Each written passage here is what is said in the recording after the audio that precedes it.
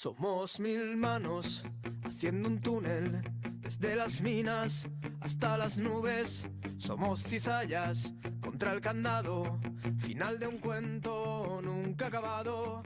Somos la fuerza. Somos Tribu Vallecas, es una red de apoyo vecinal frente al COVID-19 como una manera de ayudarse entre los vecinos. En Vallecas ya de por sí eh, somos un barrio que tiene un, un nivel de, de, pobreza entre las familias eh, de un 56% por encima del 28% que es a nivel de toda la ciudad. Tenemos unos, unos servicios sociales muy deficitarios y muy insuficientes. Ya lo eran antes de, la crisis del COVID-19, ahora pues muchísimo más. Tenemos muchas familias con muchas necesidades y no podíamos quedarnos de brazos cruzados, había que, darle había que dar una respuesta.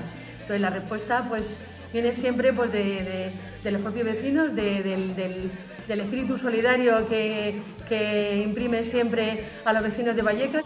En un principio surgió como ayuda para, para no salir de casa, gente que, que tuviese algún tipo de necesidad, pero frente a la situación extrema que estaban viviendo unas familias, eh, decidimos darle el giro hacia llevarle alimentos. Tenemos a las familias que tienen ERTES, que no lo van a cubrir, que no lo van a, co a cobrar hasta el mes de mayo, que se han quedado sin ningún ingreso en casa.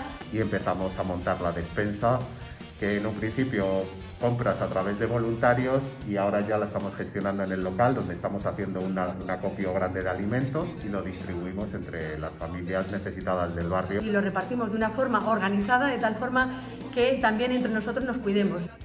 Eh, a lo mejor de de,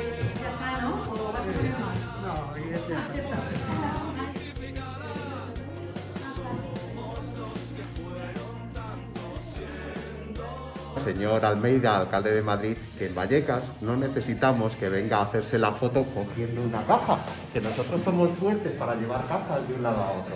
Que lo que necesitamos es que eh, implique a los servicios sociales del barrio que contrate más gente, que los dote de recursos, que los dote de dinero, porque son los servicios sociales y no nosotros, voluntarios del barrio, los que tienen que dar de comer a las familias con necesidad. La gente llama y a nadie la atienden. Con un correo electrónico, teletrabajando, no se puede atender a familias que tienen hambre. Entonces, por favor, ponga en marcha los servicios sociales, dóteles de recursos y contrate a más gente.